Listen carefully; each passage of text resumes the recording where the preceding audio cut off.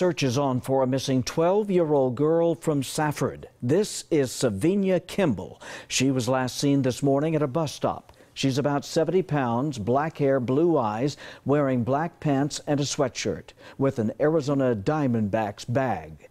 Police say she may be with a man. 34 year old Lawrence James. He is six feet tall, short brown hair, brown eyes. They could be in a 2001 blue Dodge pickup truck like the one you see here.